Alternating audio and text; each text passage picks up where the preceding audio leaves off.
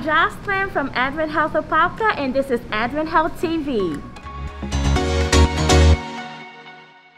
Hi, everyone. I'm Tom Johnson. Topping this episode, one of our hospitals, the first in the nation, using a new kind of device to help people relearn to walk.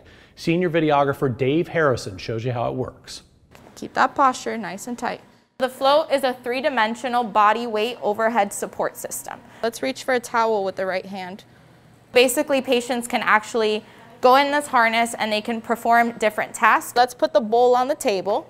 So the patient has the ability to freely move in 3D space. Remember when you're turning, focus on the turns without, you know, feeling the fear of falling because they will be fully supported on here. Looks like there's some stuff there. Get a chance to get your balance back. You know, it's just like somebody beside you holding you up. How does this feel? The patients can also bend down in this, they can crouch, they can pick something off, off, off the floor. And the nice thing about this is it also has a sensor where if they feel the velocity of the patient, if they're starting to fall, it'll automatically stop and it'll stop the patient from hitting the floor basically. I think I'm getting really getting stronger and better each and every day with, you know, all the practices and everything they're giving me You've seen where you're at without a walker. I also feel very honored to be able to use this machine with patients and to be able to increase their function and get them back home Good. safely because our ultimate goal is for patients to go back home with their families and get discharged safely. Perfect. Our efforts continue to bring high quality, whole person care to communities throughout Central Florida. This is the recent Spire ceremony held at the site of the forthcoming Advent Health Clermont ER and Health Park. You can see the spire being put into place high above the site, which is near the intersection of State Road 50 and Citrus Tower Boulevard. The ER expected to open in November, the health park at the beginning of 2022. More team members are on the way. We recently held another mass hiring event to bring on talented new team members.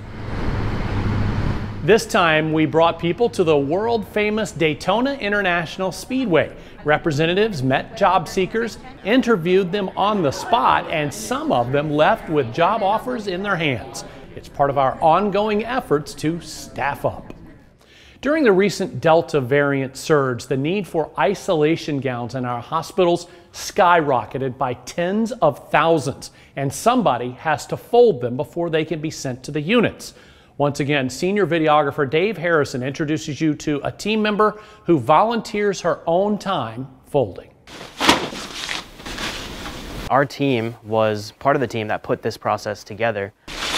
We determined that there was a, a big need for supporting our laundry facility uh, that was totally overwhelmed. I come in with my family and uh, we fold gowns for a couple hours and then we go on with our Sunday. It's pretty easy. Couple of folds and a roll and you're done. You get into a pretty good routine holding them and so it just, the time goes pretty quick. And you know what? Each gown helps. As a nurse looking at, at a box of or a bin of unfolded gowns, it's a little bit uh, disheartening. So seeing them nicely folded, it really is that extra kind of um, piece that says, hey, we care about you. We want to give you everything that you need to, to make it easy for you.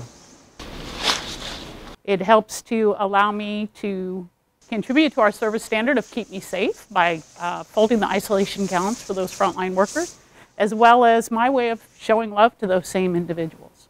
We are in green status again, um, which may spell the end for this, but we're going to continue as long as it's, it's appreciated and needed. I think it's a great way to be able to give back to our frontline workers and I think it makes a difference.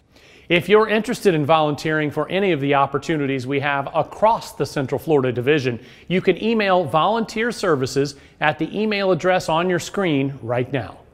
Now, a first on Advent Health TV. We have a twofer for you in our picture of the week, and they are spectacular. First up, a pick from Jeffrey Straubinger, who's a respiratory care senior manager at Advent Health Orlando. He captured these spectacular shots of a recent nighttime SpaceX rocket launch. You can see the rocket almost looked like a comet at one point as it soared high above the hospital. Now let's take you to the coast for a time-lapsed video view of the same amazing launch. This comes to us from Christy Powers in Physician Communications. She grew up in Brevard County and still lives and works from home there. Christy tells us her father and grandfather both worked at Kennedy Space Center, so rocket launches are extra special to her. Wow, just an incredible and otherworldly looking launch there, especially toward the end of this video. Thank you both for sharing. We love sharing your videos and photos, whether it's an inspiring take on our service standards by your team or your super cool work from home setup. Email them to us at AdventHealthTV at adventhealth.com. Until next time, stay healthy and feel whole.